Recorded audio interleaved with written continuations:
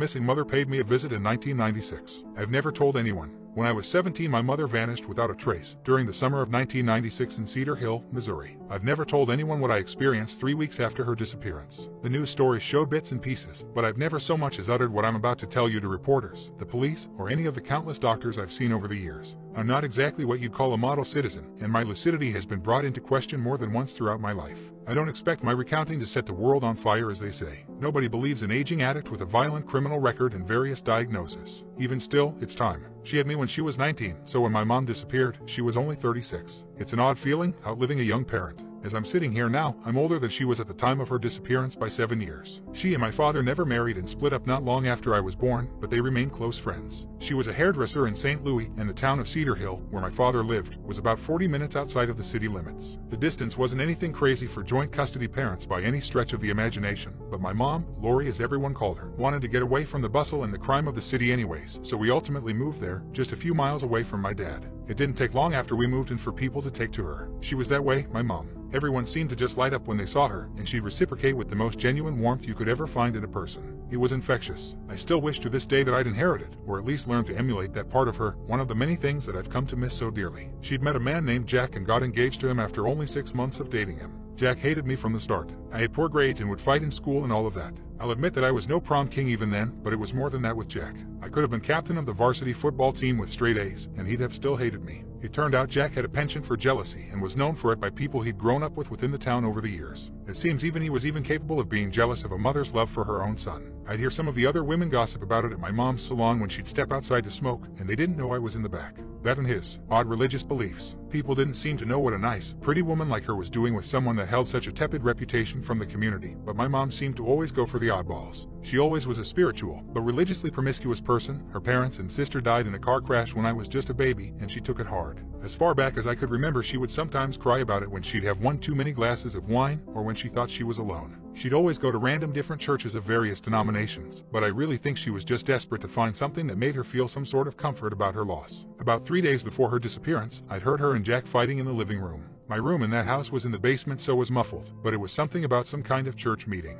I think it was something about them breaking some rule or something, but I couldn't be sure. I've tried and tried to dig into my memory and make the words clear as to what was said, to the point of mental anguish, but they never do. They fought a lot during that time, so I just tended to tune the arguments out. Ultimately, the police never connected it to anything of importance in the case. She seemed troubled the next two days after that. She and Jack seemed to be getting along just fine on the surface, but I couldn't help but notice her agitation, even as in my own head as I was at that age. I could tell she hadn't been sleeping and was chain smoking her Marlboro menthols, something she normally only did as an after-work ritual in our garage. She kept looking out of the windows like someone could have been coming to visit at any moment, but they never did. The morning she disappeared, she said something to me at breakfast before she went to work at her salon, the last place anyone in the public would ever see her alive again. She looked terrible and I could tell she still hadn't slept the night before, yet again. Jack had to deliver a load to Kansas City with his rig that day, so he had left early in the morning. As she was washing our plates in the sink, she asked me, Are you happy here, Kyle? I didn't know what to say to her at the time, so I said nothing. I hated that town and I hated Jack, and she knew that. I told her to leave him countless times. She said, Today your grandma told me she'd love for us to come stay with her and your grandpa back in Chesterfield. Her voice was breaking up and I could see her shudder a little at the sink.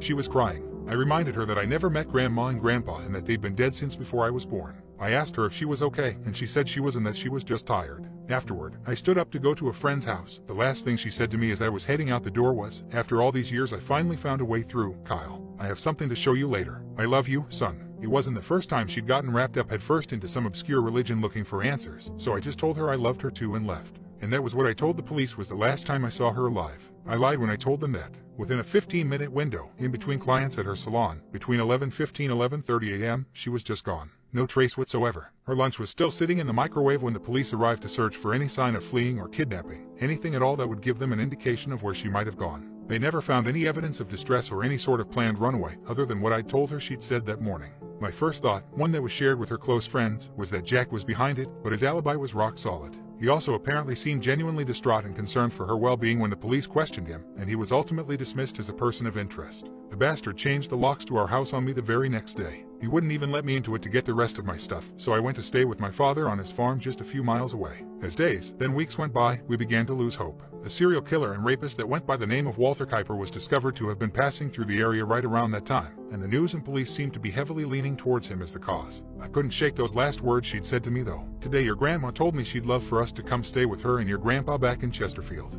Yet she had some sort of mental break. And what about the part about finding a way through after all these years? It was just too odd, too unlike her. Exactly three weeks after she'd vanished from the little salon she'd loved so much, I was sitting in my room at my father's farmhouse and heard a faint bristling in the yard from outside my window. I didn't think much of it as my dad's dog, Thunder, slept in a doghouse near the window. He always barked at strangers, so I figured it was just him. But it wasn't long after that the bristling turned to creaking and clambering on the side of the house, up past the gutters, and sounded like it was on the roof. It sounded heavy, much too heavy to be a raccoon or an opossum. It couldn't thunder either, unless he decided to grow opposable thumbs. Could it be a bear or some kind? A black bear, maybe I asked myself. Black bears weren't common in that part of Missouri, but not unheard of. I was just about to get out of bed and let my dad know that we need to get our guns and go shoot whatever it was on the house when I heard something that chilled me down to the core of my soul and froze me right where I lay. It was the crying of a woman, followed by the creaking open of the window that led to the attic. I wish I could say that I was brave at that moment, but I wasn't. I just sat there in my bed, petrified, quiet as a mouse, unable to move so much as a muscle. The crying was muffled now that it was coming from the attic, but you could still barely hear it. My father had taken my mom's disappearance particularly hard, and he was usually drunk and asleep not long after the sun went down. But I'd still hoped he'd heard something, and that maybe he had more courage than I was able to muster at the time, but never came. For what must have been several minutes I could hear the creaking of the boards in the attic above me. Still, that sobbing she paced back and forth. There was a shotgun in the hallway closet about 30 feet away, and if I was careful about crawling out of bed, I could get to it long before whoever she was could come down the attack stairs and open the door that was right outside of my room. I was slowly removing the covers from my body, and she must have slipped and fell through this open cavity that was in between the walls because I heard her tumble down and crash right from the outer part of my closet.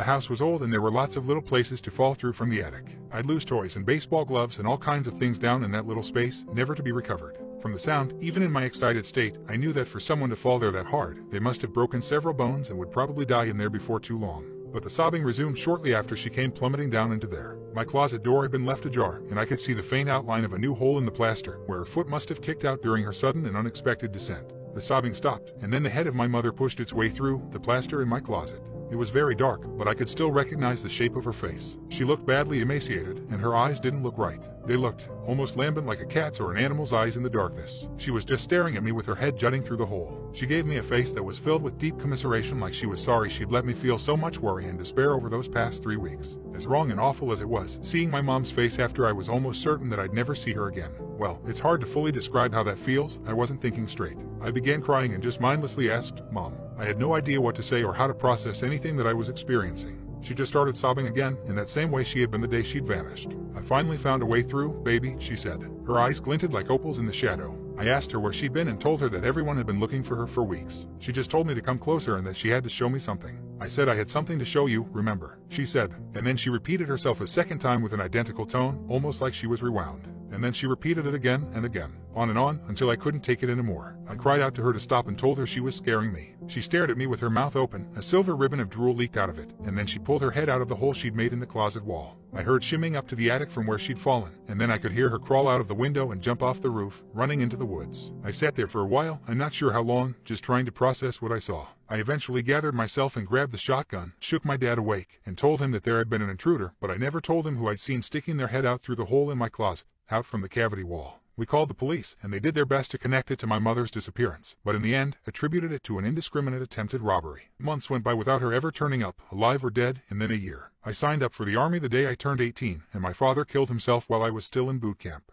He called me at what was determined to be just moments before he put the barrel of his shotgun in his mouth and pulled the trigger. He told me, I love you, son. Thank God you didn't see what she's shown me. Forgive me. In 1999, her remains were found not 500 yards into the woods, behind the house where she grew up with her parents and sister. She was nothing more than a skull and a handful of scattered bones. I had been dishonorably discharged from the army by then and was serving the first of a five-year prison sentence. The first of two stints of a hard time I'd end up serving. And so Jack had what little was left of my mother's remains cremated, and still has them to this day. I've just been released from the second sentence. I've been staying at the motel near Jack's place for a few nights now. I've broken my parole, so there's no going back at this point. See, my mom's friends had said over the years that she was planning to leave Jack, something I wasn't even aware of at the time. I wonder if he knew that. Even more, I wonder what he'd have done if he found that out. Possessive, jealous Jack, unable to even allow her to share her love even with her only son. I've done a lot of research on that cult of his, and I wonder what he might have subjected her to he'd found out she would leave him. A spiritually desperate woman, willing to do anything to speak with her dead family again. We'll find out tomorrow night when I pay him a visit.